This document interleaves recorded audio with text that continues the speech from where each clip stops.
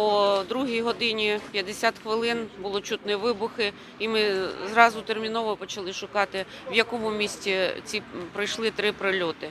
Е, І відповідно навіть і, і думки не мали, що це може бути цей будиночок, який ну просто невинних людей, які, які мирно спали.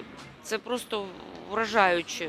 З самого ранку ми тут і сходилися родичі, тому що не відповідали рідні на телефонні дзвінки. Е, і ми, е, ми вже потім знайшли, що тут трапилось таке лихо. Е, родичі затверджують, що всі були вони вдома.